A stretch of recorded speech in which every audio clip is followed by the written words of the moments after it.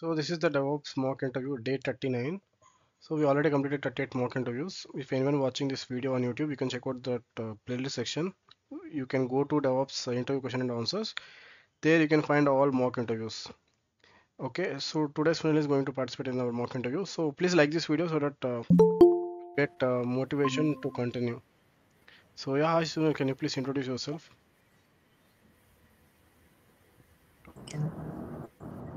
Yeah, sir. yeah, thank you so much for giving me the opportunity to introduce myself.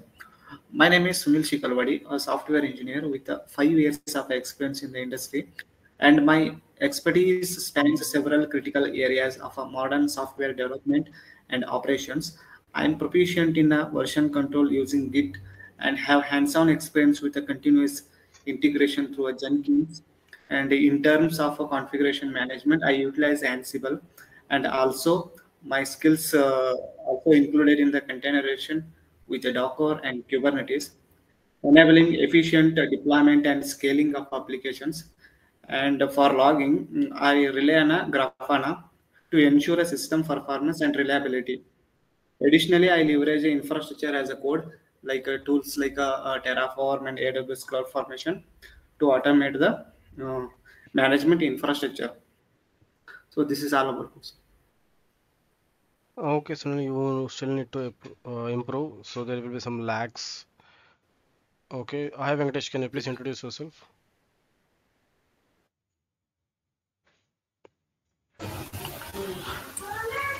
Hello.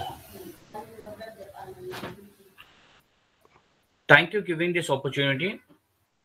My name is Anisiti Venkatesh, a DevOps engineer with five years of experience, currently working at Tritech Software Private Limited in Kondapur, Hyderabad. My skill set including extensive expertise in AWS for cloud infrastructure management, Git for version control. And well version continuous integration deployment using Jenkins along with build automation through Maven. I have experience with code quality and security tools like SonarQube and JFrog, as well as configuration management using Ansible in the realm of containerization. I work with Docker and Kubernetes for orchestrating and scaling applications. My proficient in infrastructure has a code in demonstrate through my use of Terraform. Additional, I'm skilled in shell script to automate tasks and utilize Prometheus and Grafana for monitoring and visualization. My background equipments to drive efficient and reliable DevOps practices in any dynamic environment. That's it from myself. So yeah, Ansiti, you were perfect, uh, but there is some lags in your introduction. Okay, you need to start.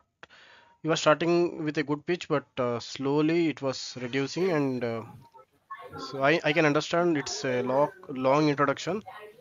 Yeah, but if you practice more, right, definitely you will get in uh, to the mark. Same applies for Sunil as well. Okay. So you just Oh, practice a lot okay. so that uh, it will improve. Suddenly, I'm, I know suddenly I've asked you the introduction part. I can understand suddenly whenever anyone asks, we will forget.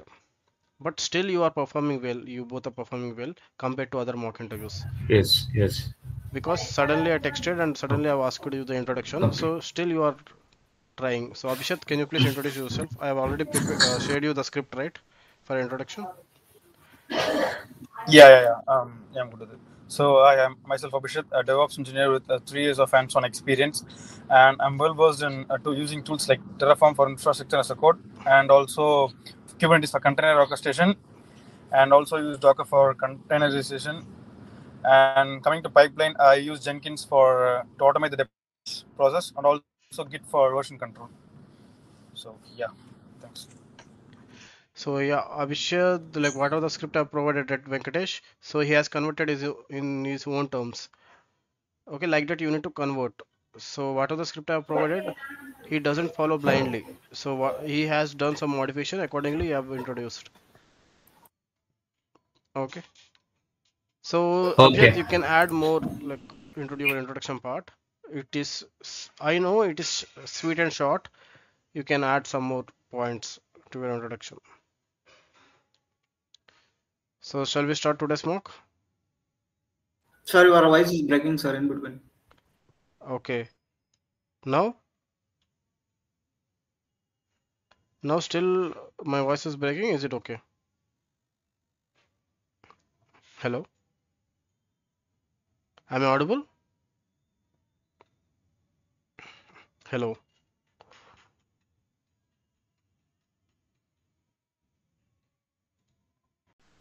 Okay. So how do you handle persistent storage in Kubernetes?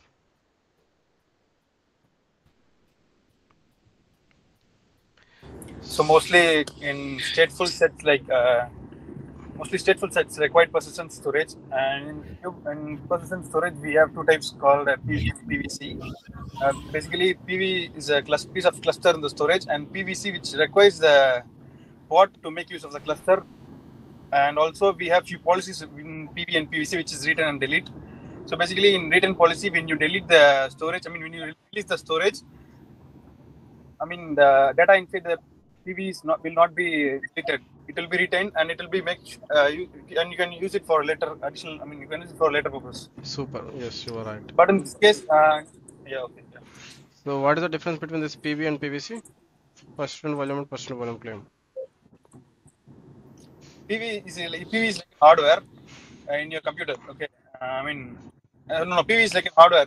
PVC is like making making use of an hardware to add or uh, delete something uh, in your uh, storage. Yeah, we will create a virtual volume out using right where by using cloud provider volume we are going to create a persistent volume. So we will claim that persistent volume using PVC. So coming to difference, persistent volume is the actual storage, PVC is the claim which we are request. How do you provision dynamic storage in Kubernetes? through EBS. We can create an EBS storage, and uh, through that we can provide a dynamic storage to our Kubernetes clusters. Okay, how do you configure a stateful set for stateful application?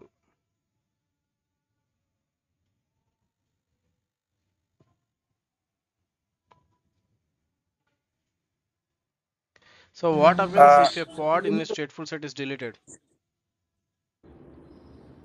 Pod in the stateful set is deleted. Uh, Oh. for that, we have uh, written written and delete policies. So if anything, any, any of the policies actually is, is on, or uh, I mean, we have said like uh, I mean, So every the pod will get a unique name, right? So even the pod was deleted, it will replaced with the same name and the same pod, and they will get a same volume as well. Am I right?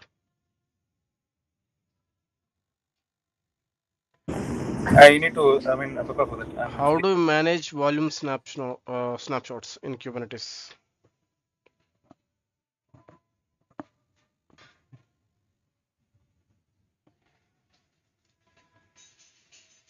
So how do you resize a persistent volume claim in Kubernetes?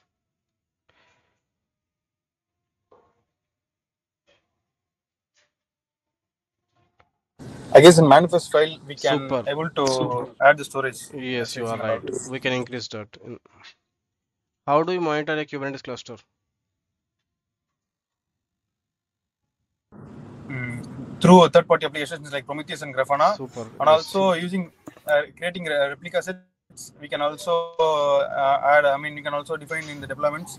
It No by, by set. defining It's a, it's a daemon set, not a replica set. demon. Sorry, demon, demon, demon. Sorry, daemon set, daemon set. Yeah, sorry. Yeah.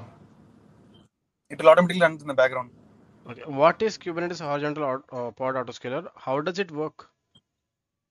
Okay, so consider when you are uh, when you are facing sudden spike in your application, what uh, that is where the horizontal pod autoscaler comes in. Uh, basically, it, it creates uh, based on CPU utilization.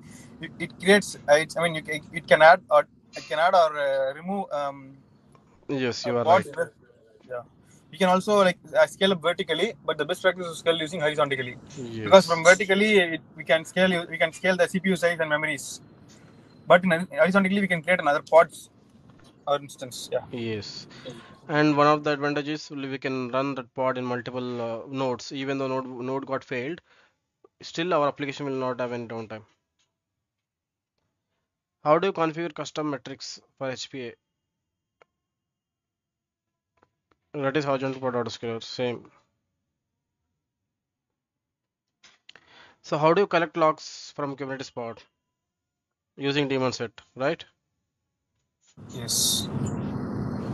Or we can use a sidecar container, like nothing but in pod you can create one more container. A multi-container, multi-container. Yes. Yeah. So how do you monitor Kubernetes nodes and pods? Um, Same. We- mostly monitoring and relaying but I'll be, I'll be Yeah. handling I'll be and Grafana. Or also we can also use the daemon sets. Okay, how do you troubleshoot a failing pod in Kubernetes? This is one, one more important. We, like, what are the question I've asked? Right? Every question is repeated one. But this is the uh, damn sure question. How do you troubleshoot a failing pod? What steps you will follow? Okay, how do you secure We check on communication uh, between pods? ports. Sorry? How do you secure communication between pods? Through cluster IP. Cluster IP is a default IP. I mean, through uh, defining that, we can like make part to part, internal part to part communications. Yes. How how communication will happen? Who is the responsible person to make the communication happen? Yesterday we have discussed, right? Kube proxy. You proceed, yeah. What is role-based access control in Kubernetes? Basically, uh, it is uh, it is it is one of the key concepts in enhancing the security part coming to Kubernetes. It is also, uh, I mean, similar to IAM, where we can uh, define uh, roles. I mean, where we can define roles to limit the third, use of third-party applications to our uh, pods. We can Oh. also like uh, define it under namespace, and also we can also define the rules for uh, cluster level also. Okay, first question I've asked you, how do you handle persistent storage in uh, Kubernetes? Kubernetes uses persistent volume and persistent volume claim to manage storage. Whatever you said, you are right. So real life example, a database that requires persistent storage across pod restarts. So this is the persistent volume claim, access modes, storage. So what is the difference between persistent volume and persistent volume claim? Persistent volume or physical storage, well persistent volume claim or request routed storage. So whatever you said, you are right. How do you provision dynamic storage in Kubernetes? Dynamic provision automatically creates a storage based on PVC using a storage class using AWS EBS. So whatever said, you are right. So how do you configure a stateful set for stateful application? Stateful set manages the deployment scaling for of stateful application. Okay, for stateful application we will use stateful set. Okay. What happens if a pod is pod in a stateful set is deleted? So deleting a pod in a stateful set which Kubernetes automatically recreates. That's what I said, right? How do you manage volume snapshots? So volume snapshots allows you to create backups of persistent volumes. Okay, you like this using kind volume snapshot you can able to create. So how do you resize a persistent volume claim in Kubernetes? So if you see there is a storage option, right? You can directly edit the manifest file. So using Prometheus, so we will monitor the Kubernetes cluster. What is HPA? You can automatically scale and scale up and scale down. How do you configure custom metrics for HPA? Okay, so like this metric HTTP request like this by using uh, manifest file we can edit and we can change. How you will collect the logs? Like using Elasticsearch or FluentD or Kibana. Like that you can able to collect the logs. How do you monitor uh, Kubernetes? So using kubectl top or tools like Prometheus to monitor. Failing part how you will troubleshoot? You will uh, kubectl describe part and you will see, or you can use kubectl logs. So how do you secure communication between pods? Use network policies to control traffic between pods. Okay, you can use the network policy. Role-based access control. Okay, you can grant the read, read only like this role for uh, any user or namespace level. Okay, that's it for uh, today. I will just stop the recording.